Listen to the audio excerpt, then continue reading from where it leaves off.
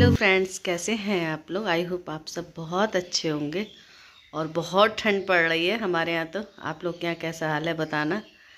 आज है एकादशी तो मैं चलिए अपना ब्लॉग स्टार्ट करती हूँ। आज बनाती हूँ कुछ नाश्ता। नाश्ते में देखती हूँ क्या बनेगा। चलिए कि चलते हैं किचन में। देखिए, हम आ गए किचन में। देखा तो यहाँ आलू उबले हुए रखे थे। मैं चलिए इनसे ही कुछ बनाते हैं। और आज इन आलू से मैं सोच रही हूँ बेसन बड़ा जो बनता है वो बनाती हूँ और आप लोग के साथ अपनी रेसिपी शेयर करूँगी। दिखाती हूँ आप लोग को क्या क्या डालूँगी मैं। देखिए, अभी मैंने आलू वाले ये मटर है, प्याज, हरी मिर्च और ये बेसन रखा है और ये है सारे मसाले जो मैं इसमें डालूँगी। चलिए करते हैं स्टार्ट बनाना। बने रही हमारे ब्लॉग में। यहाँ एक कढ़ाई रख दी है। अब चलिए, पहले हम आलू को मैश करते हैं। इससे मैश कर लेती हूँ। देखिए, हम इन आलूओं को ऐसे मैश कर लेंगे।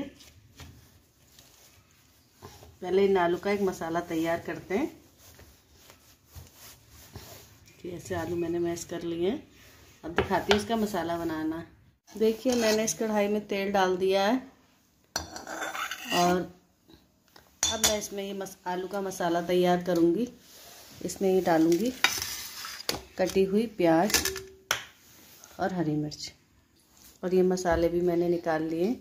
बाकी के मसाले तो ये हैं, ये डालूँगी। देखते हैं आज कैसे रेसिपी बनती है ये वाली। ठीक हमारा, मैंने इसमें रिफाइंड डाला था, हो चुका है। दूसरी कढ़ाई तलने के लिए रख दी है। अब मैं इसमें थोड़ा सा जीरा डालती हूँ।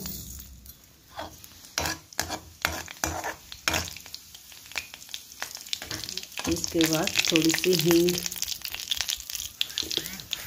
इसमें हींग डाल देंगे थोड़ी। फिर ये प्याज और हरी मिर्च।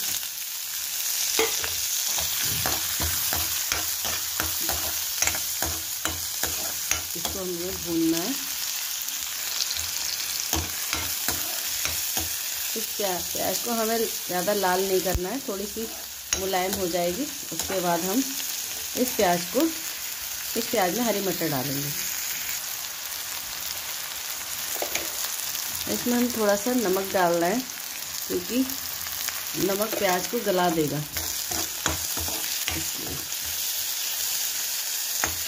और अब हम इसमें ये मटर डाल देंगे।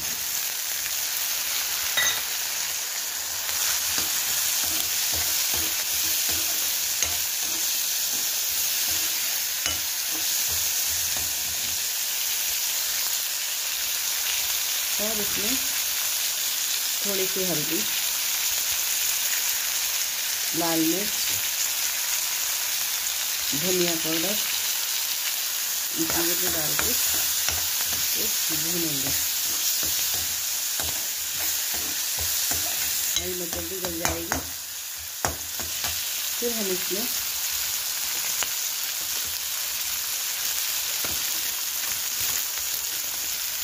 थोड़ा सा गरम मसाला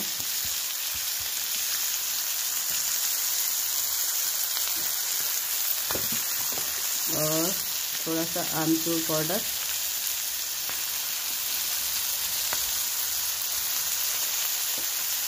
भुना हुआ जीरा।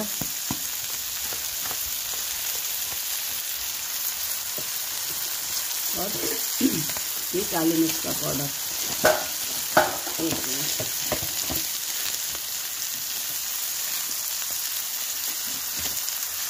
इन सब चीज़ों को डाल के थोड़ी देर कम गैस पे इसको ढक के बनाएँगे। अब हम इसमें ये आलू डाल देंगे।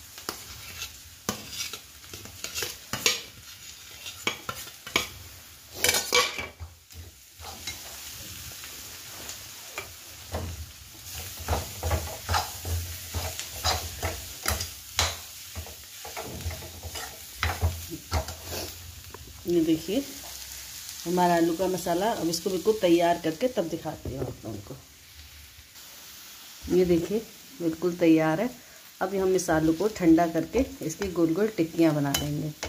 जब तक हम ये बेसन घोल के रख लेते हैं, इसको दिखाती हूँ। देखिए मैंने प्लेट में निकाल लिया है। अब इसको ठंडा हो जाइए तभी इसके छोटे छोटे पेड़े बना लेंगे। चलिए देखते हैं बेसन में हमें क्या क्या चाहिए।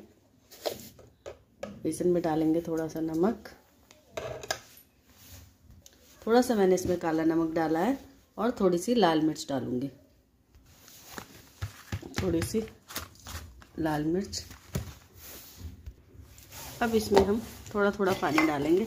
वैसे इसमें तो चावल का आटा भी डालो तो अच्छा हो जाता है, लेकिन आज एकादशी है, इसलिए मैं चावल का आटा नहीं डाल रही और हरा धनिया भी नहीं है मेरे पास।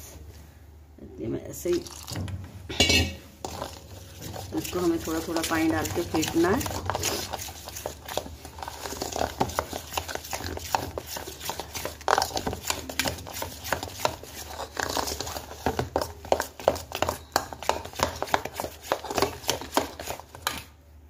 देखिए, मैंने ऐसे इनकी पेड़े बना लिए थोड़ा बचा दिया क्योंकि हम और नैते की हैं, हमारे लिए बहुत होंगे और ये बेसन घुल गया। और इसमें डिप करके इसमें डालूँगी। और फिर दिखाती हूँ आपको। देखिए हमारा तेल हो चुका है। इसको हम बाहर निकालेंगे। और इस बेसन में इसको डाल के और धीरे से इसमें डाल देंगे। फिर दूसरा भी हमें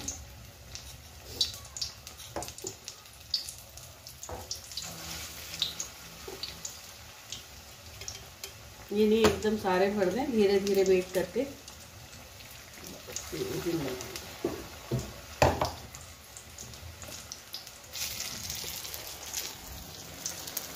ये देखिए, कितने अच्छे से सीख रहे हैं। गर्मा गर्म, बढ़िया, एकदम।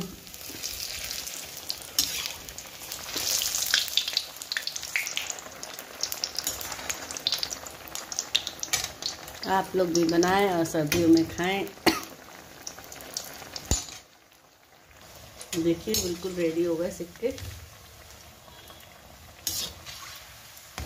अब हम इनको सर्व करेंगे। देखिए मेरे आलू बड़े की रेसिपी अगर आप लोगों को पसंद आई हो तो प्लीज़ लाइक करना एंड शेयर करना और बना के ज़रूर देखना। चलिए मिलते हैं अगले ब्लॉग में। टाटा बाय बाय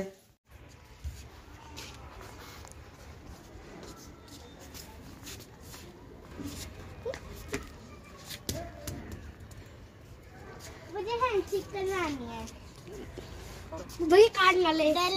नहीं नहीं नहीं काटेगा। लूडो इधर चलो हैंड करा दो।